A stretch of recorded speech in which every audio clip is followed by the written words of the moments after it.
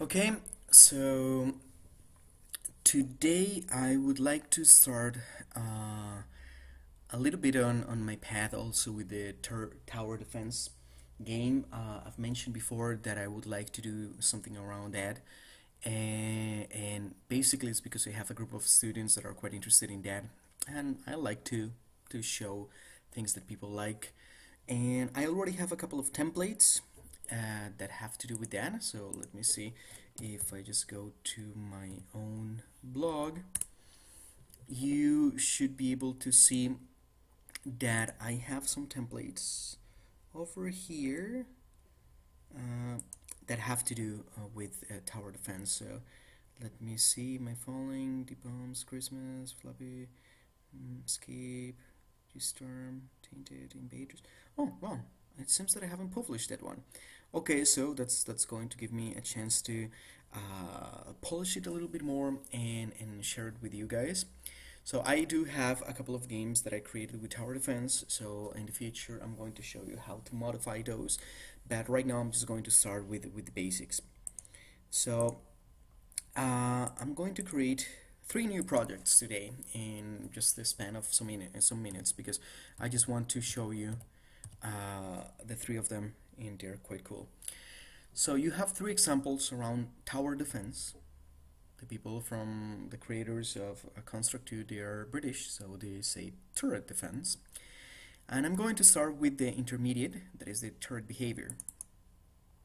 So this one, um, I am just going to show you really quick how it works.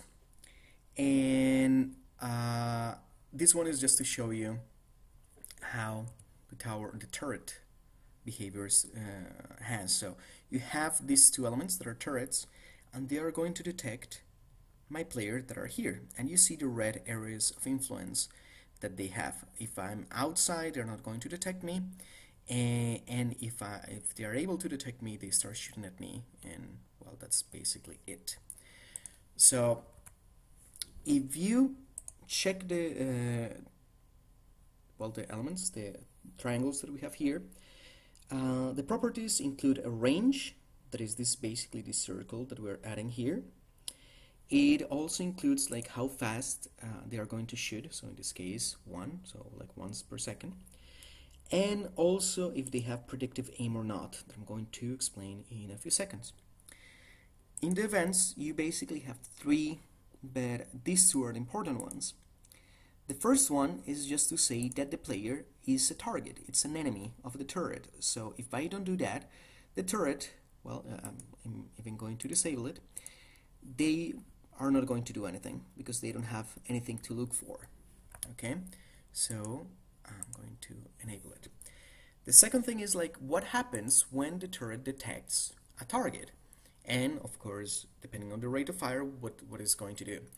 Uh, in this case is going to spawn a projectile a bullet that you have here that has the bullet behavior. So then if you don't do this then the turrets are going to be able to detect me but they cannot shoot because I'm not telling them to shoot. They are just like looking for the enemy. So these two are the important ones to understand turret behavior now, if you have this other one, this other example, predictive aim, basically is just to show you that there are two kinds of turrets. Uh, the blue one has uh, normal turret behavior, the red one has uh, predictive, and of course it's going to try to detect the possible path of the enemy and is going to try to shoot there. So it's not shooting where it is, it's shooting where, where it thinks that it's going to be. You can tell that after a little while, the red one begins to be more effective, and if I'm constantly on the move, if I just stay put, uh, both are just hitting at the same time, and that's it. Still, uh, of course, the predictive uh, aim is a little bit more uh, intensive it has to do more things. So if you have too many towers that have predictive aim, perhaps your game uh, may slow down, but really that's, that's quite unlikely if you have a modern browser. And you can begin here to tell that the, this one is more effective. So that's basically it. Now, for the last example of today, the turret defense template that you have here. So this one is a full uh, game and you're mixing two things. So I'm going to show you. Mm, here. So first is the turret behavior that you already can see on the circles. And the second one is the pathfinding behavior that you have on the enemies that you have here. So in this game already you have a spawner that is going to be creating these enemies and as soon as the enemy is created it detects that it has to go all the way to the red square so it finds its own way.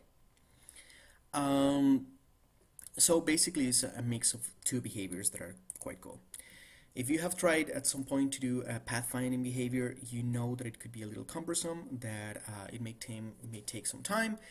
Um, it's not the most complicated thing in the world, but, but it, well, it needs some programming. So it's really good that uh, Construct already offers that. If you see, it has many more events, but they are quite explained and they are uh, separate in the enemy control and also the turret control. Turret it's going to be almost the same as we saw before, that is adding the enemy, is saying who's the enemy of the turrets. Then is just going to say what happens when you need to shoot, that is to create a bullet. And uh, then is destroying the bullets, so it doesn't have like hundreds of bullets just flying around. And this other part is just something that we haven't seen in this game, that is that you can create new turrets whenever you touch one of the black tiles.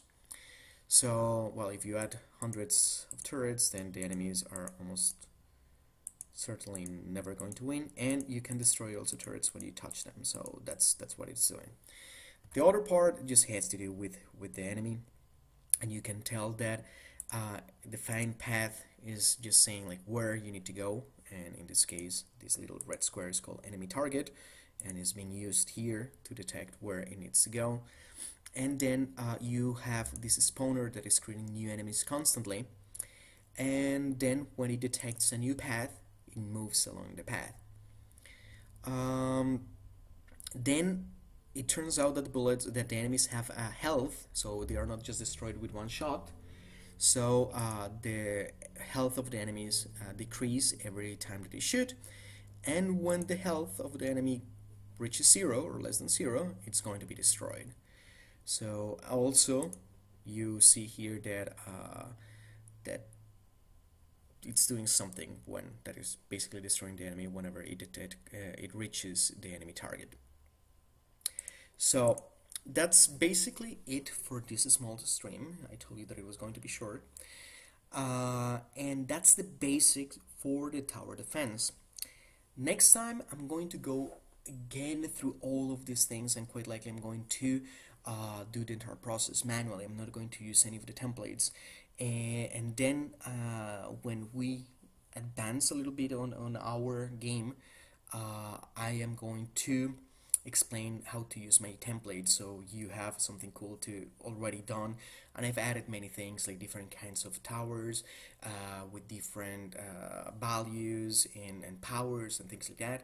And I've also tinkered a little bit with the drag and drop to to do like a better uh, uh tower drop there. So so it, it's more like a full game but and, and it's much bigger but well it's something that we're going to do step one step at a time okay